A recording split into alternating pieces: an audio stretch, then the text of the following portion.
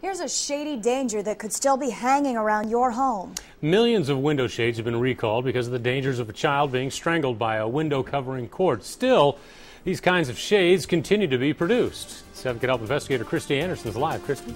Rob, hundreds of children have died, and now some safety tips to help you protect your child.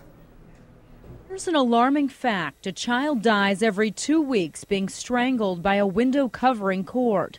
Good Housekeeping Research Institute Technical and Engineering Director Stacy Genovese says consumers should look for hidden dangers.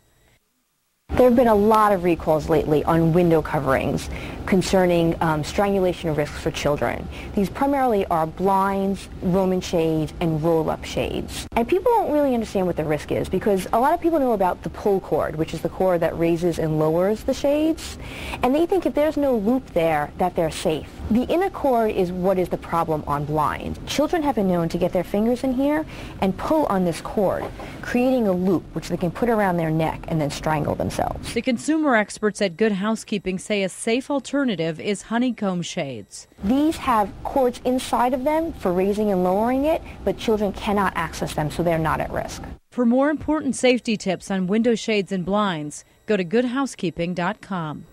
And now, if you're still wondering if your window blinds at home are safe, you should check them right now. But there's also a really great resource I found for parents. It's called Parents Window Blind Safety. It's by that group, and you can link to that website through our website at ketv.com. It kind of lays everything out for people. Great. Thanks, Kristi. Mm -hmm.